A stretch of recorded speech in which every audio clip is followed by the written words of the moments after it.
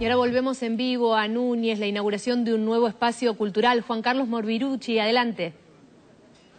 Muy bien, ya culminó este importante acto, 33 años del surgimiento de las madres. Nosotros estamos aquí con Eve de Bonafini, está también Teresa Parodi, Francisco Gutiérrez, el intendente de Quilmes, Edgardo de Petris. Eve de Bonafini, bueno, mucha emoción, ¿no? Y sí, porque no es un lugar cualquiera.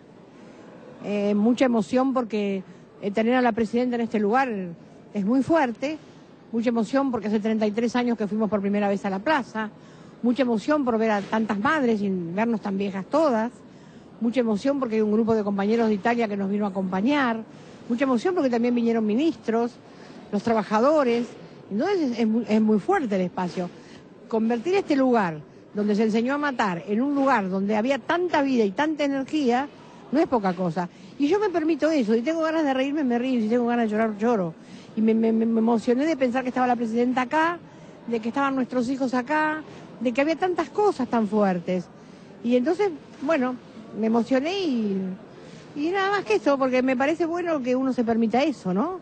No tengo por qué reprimir la emoción, ni el llanto, ni la risa. Esta noche vamos a bailar. Algunos criticarán que bailemos, otros criticarán que hoy lloré. Pero bueno, eso somos las madres, la risa y el llanto. Se vio muchos trabajadores aquí. Usted dijo que aquí nace la vida todos los días. Y bueno, los compañeros vinieron porque la quieren mucho la presidenta, entonces también tenían, espacio para estar.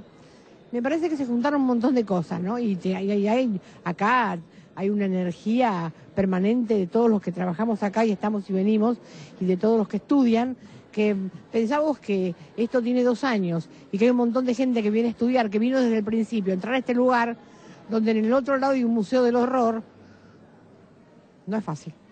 Teresa Parodi, bueno, ¿cómo estás viviendo este día? Con mucho trabajo también aquí. Mm, muy conmovida por todo este maravilloso acto, por, por esto que vivimos con las madres todo el tiempo. Estar con las madres siempre es estar conmovida, porque ellas nos van mostrando con mucha claridad un camino que caminaron 33 años y, y que gracias a ese camino caminado y a esa decisión y a ese coraje, hoy estamos aquí adentro. Hoy estamos hablando de los derechos humanos en la mesa cotidiana de los argentinos, gracias a la política de, del expresidente Néstor Kirchner y de Cristina Fernández de Kirchner, pero también a las madres. Este tema llegó hasta aquí porque las madres tuvieron estos 33 años de lucha y no dejaron un solo día en, luchar por la memoria y por la justicia.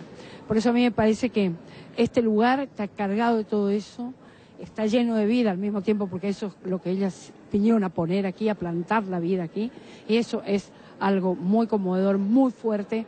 Te puedo asegurar que estar aquí es vivir muy intensamente todo eso. Muchísimas gracias. Francisco Gutiérrez también presente aquí. Sí, acompañando, ¿no? Y la verdad que emocionado igual que, que Eve, pensar que acá hubo tantos compañeros que ofrendaron su vida. Comparto plenamente lo que dijo nuestra presidenta.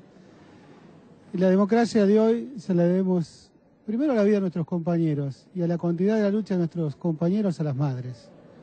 Porque ellas salieron, defendieron, reclamaron, exigieron justicia. Y hoy está, la justicia es lenta pero está llegando. Se está conociendo la verdad, que es lo que siempre pedimos, verdad y justicia. Edgardo de Petris. Bueno, uno siempre muy emocionado, todos lloramos, la verdad que es bueno que nos permitamos llorar, eh, porque estamos avanzando tremendamente. Donde, donde hubo muerte, hoy hay vida. Eh, donde algunos eh, creyeron que no iban a ser juzgados. Eh, cayó la ley de UNCB punto final porque las madres estuvieron peleando y hoy el reconocimiento de la Presidenta de la Nación. Primero Néstor Kirchner pidiendo perdón en nombre del Estado argentino y ahora la Presidenta reafirmando de que la verdad y la memoria tienen hoy un lugar no solamente en el Estado, en el pueblo argentino. El pueblo argentino está viviendo esto con mucha alegría, con mucha emoción, y creo que todos los militantes populares eh, venimos a acompañar, venimos a acompañar y a comprometernos, eh, a que los vamos a seguir juzgando, como a Martínez Dios, ¿no? que se ha reconocido ahora como uno de los autores intelectuales de aquel golpe militar, que cambió la economía, cambió la política, cambió la vida, no solo de nuestros compañeros desaparecidos, sino de millones de compañeros que expulsaron la desocupación, a la pobreza, a la exclusión. Así que la verdad, estamos muy contentos, muy alegres y al mismo tiempo comprometidos con este sueño, con este sueño que se está cumpliendo. Muchísimas gracias. Bueno, las distintas opiniones en un día muy especial. Ustedes. Muchas gracias, Juan Carlos.